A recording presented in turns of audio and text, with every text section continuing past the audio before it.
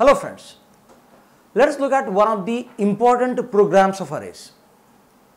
We call them as a cyclic rotation of the arrays or shifting the elements of an array by one position. When I say that I am supposed to do a shifting operation, there are two types of shifting. One is a right shift and the other is a left shift. Now, how do I carry out this particular task of shifting the elements of an array by one position? Now, see here. Suppose if I say that I have say 4 elements in an array and let us say these 4 elements are in this fashion. This is my input array. Let me take an example. So, this is my input array A say 12, 9, 14 and say 8. Now, what I need to do is I need to shift this elements of the array towards the right hand side by one position. So, the new array or the output has to be the output has to be these contents. When I shift this 12 goes on the other side 9 goes in the place of 14 14 goes in the place of 8 and 8 will now occupy the last position. This is the output array which I need to obtain when I am supposed to do a shifting operation. So, how do I get this particular stuff? A very important and a simple logic. Whenever we do a shifting towards right hand side or toward left hand side, in the next video I'll, I'll illustrate how do I do the left shift, but the logic is still the same. Any cyclic rotation program when you want to do it in a right hand side or in an anti-clockwise direction or left hand side that is a clockwise direction. When I say right hand side the elements move in an anti-clockwise direction and when I say left hand side the elements move in a clockwise direction. So here I am trying out an anti-clockwise movement. When you say cyclic rotation you have to indicate the direction in clockwise or anti-clockwise. If you are going to shift the elements in that case you can just say left shift or right shift right. So, in this case I am supposed to do a right shift. You can remember this entire logic into three simple steps. Step number 1, whenever you do a shifting operation of an array, one element of the array will move out and occupy the other side. In a right hand side, the last element will occupy the first position and in the left hand side, the first element will occupy the last element, last position. So here I am going to transfer this a of n minus 1 into the first location, but you can't do it directly. What to do is whatever the element which is going to go out, now here this element is going to go out, hence take this particular element and copy it into a temporary variable. Always remember the element which is going to be taken out of an array has to be always copied onto temp. Step number 1, I feel it is clear now element repeat that element which is going to be taken out of the array has to be copied onto temp. So, here in this case temp equals to 8. So, when I say temp equals to 8 what I need to do?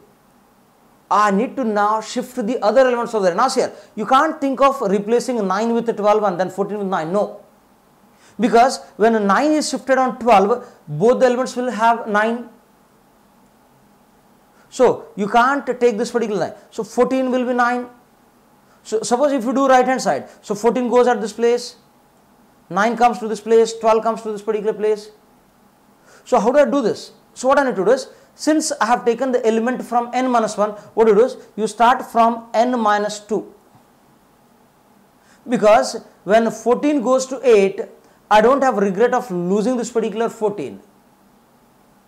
Because this sorry I, uh, I don't have regrets of losing this particular 8 because 8 is stored temporarily. So what it is you start from n minus 2 and move towards 0. So a of n minus 2 so I'll draw this particular array with these black blank values now 8 has been copied onto temp. So that is the first step. Second step what you need to do you need to start from n minus 2 and go towards what 0 where a of n minus 2 has to go a of n minus 2 has to go to a of n minus 1. So, if i holds n minus 2, then I have to say that a of i should go to a of i plus 1 because n minus 2 plus 1 is n minus 1. So, the a of i goes to a of i plus 1. So, 14 goes to the next location. i gets further decremented. So, i becomes in this example 0, 1, 2, 3. a of 3 should be copied into a of 4. After that, uh, a of 1 So A of 1 should go to what? A of 3. So this becomes 9. A of 0 should go to A of 1. That becomes 12. But when I reduce this particular value, automatically the indicator, ind the index i is reduced to minus 1, which means that the loop is going to turn out as false. And now, for the last time, what I need to do is, whatever the element, the third step is whatever the element which is in temp has to copy it at the first position. This now, don't you feel that this and this array are one same? So, what we did? The element which is going to go out is copied onto temp. We started the element which is just before that and went towards the other side that is 0. The current value where i is pointing is stored onto the next location. Next location can be obtained by i plus 1. So, a of i is transferred to a of i plus 1. Since assignment operator works from right to left, so a of i is transferred to a of i plus 1. So, a of i is 14. So, sorry a of i is 14 and this goes to this particular place. What are the steps which are stated? So, a of 0 goes to temp. What are the steps which are stated? Let us understand these steps with the program itself. So, here I have a program which illustrates how exactly this particular operation goes. Now, I will have the, the initial uh, operations of the arrays, numbers and the uh, elements. So, let us say the value of n as say 5 and here I have this array called as A which stores these 5 values say 2, 9, 8, 4, 7. These are the elements which have been read by the user. Now step number 1, this is step number 1. What we did? The element which is going to go out that is A of n minus 1 is copied onto temp. So your temp is now what? 7. Now, what are the new numbers which I to write? I to write with a different color. Observe this particular operation. So, temp goes to this particular place. A of n minus 1 goes to temp. After that, I will start the loop from n minus 2 that is from this location and go towards what? 0. i of n minus 2, i minus i greater than equals 0, i minus minus. A of i that is in this case 0, 1, 2, 3, 4 a of 3 should be copied to A of 4. So, this goes as 4. Go back, I is further reduced to 2. A of 2 is copied out to A of 3. Go back, I becomes 1. A of 1 is copied onto A of 2. Go back, A of 0 is copied onto A of 2.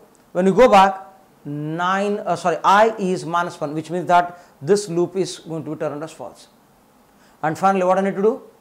whatever the value which is in temp should be copied onto a of 0. So, temp should always go to a of 0. I have done this particular operation of shifting the elements right hand side by one position.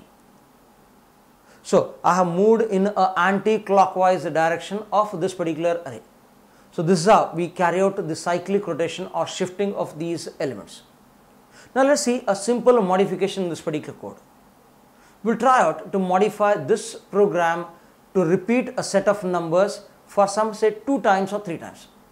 Let us see how do I shift these numbers by 2 times or 3 times.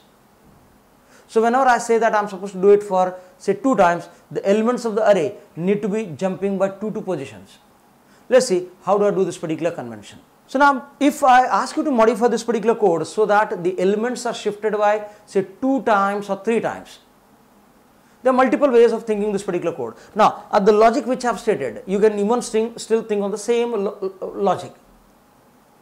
Suppose if I have 100 elements and I want to shift all these elements say by two positions towards right hand side. So, what you can do? The last two numbers have to be copied. Let me say the last two numbers says temp 1 and temp 2. I will take the last number into say a of n minus 1 into temp 1 and a of n minus 1 into n minus 2 into temp 2. Then I'll start index from n minus 3 and go till 0. Shift all these elements one side but towards right hand side. Temp a of n minus 3 goes to a of n minus 1. n minus 4 goes to n minus 2 and so on and so on and so on. Every time when I shift, I'll shift to two elements simultaneously.